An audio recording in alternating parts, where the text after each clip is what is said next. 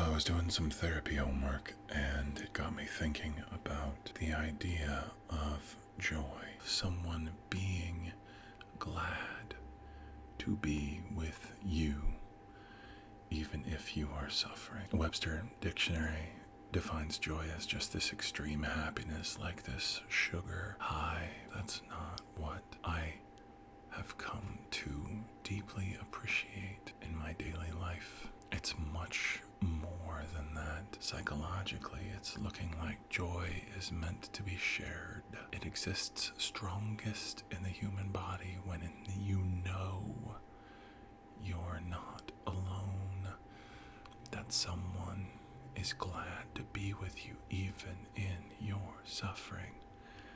In my imagination, it's sitting on a rooftop with someone else, even if you're both suffering from different things or even the same thing, you at least are not alone. That idea is both powerful and present in me with my family.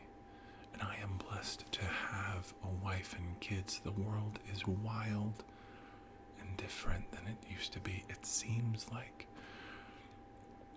a lot of statistics bark and seem angry, but the same truth now existed when I was looking for joy. There is joy.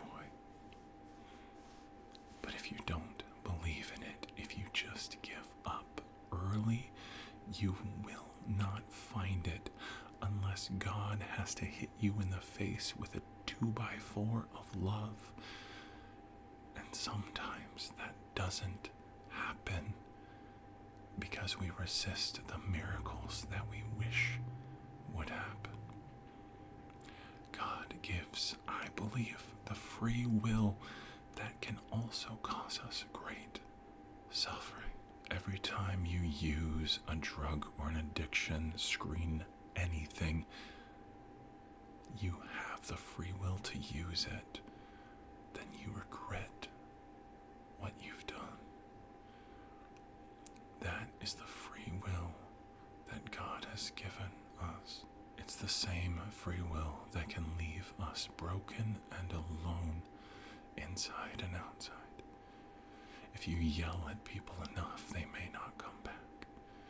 If you break their hearts or hurt their feelings, you too have probably been broken in that way, haven't you? You've had your hearts ripped out, your feelings, your positive, warm, and good feelings stolen out of your chest or out of your minds. Of course you have. Of course, you, it's bound to have happened to you as well. Thus, you take part in the other person's damage. We all hurt one another. There is not one single source of darkness in this. All our wounds are passed on to others. There is hope in joy. For me, I know I am not alone in my suffering because God is with me. My family is with me and have been with me for years through terrible, crazy suffering, and I am so honored to be with them. And I'm honored to be with you right now. I'm sorry you're suffering, but suffering, it doesn't always make us stronger like we think, but over time, we learn to endure the pain that comes at us like waves against rocks. We suffer, yet we remain. Please remain with me here. Now, don't give up. Don't let go. Don't give in to some ideology or idea that is not for you, that does not care about you, the one specific you that this is for. I didn't want to record until the moment that I clicked record. But now I know why I'm recording, and it's for you. This isn't for some vague somebody. This is for you. I don't have to know your name or see your face to know who you are. This is for you. I am glad to be with you, and thus is joy in my life, and I hope you can feel it in yours. Old pro wrestling stuff I used to love from Dusty Rhodes was put your hand on the television screen and know that I'm reaching out to you. You are not alone. You are not alone on this night.